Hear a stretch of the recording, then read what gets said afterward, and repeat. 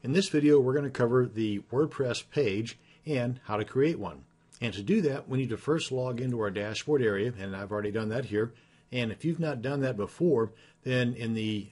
browser's address bar up here, you want to put in the URL to your WordPress site, followed by a forward slash WP admin, hit enter, and then a box is going to pop up prompting you to enter your username and your password. And do that, you'll then be brought to this page. At this point, you want to come on over here to the left and click on Pages, and that'll bring you to the page that contains a list of all of your pages that have been published, scheduled to be published, or are in draft mode. And you'll see that over here on the far right, and the date will be listed right above that. And you can get to the page editor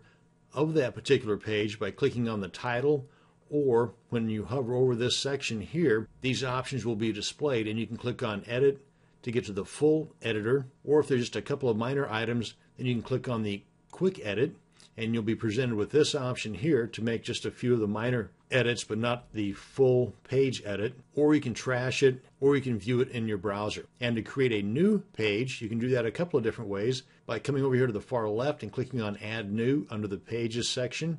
or on the pages page, you can come up here and click on Add New, or in the admin toolbar, you can hover over the word New, and you'll get this drop down.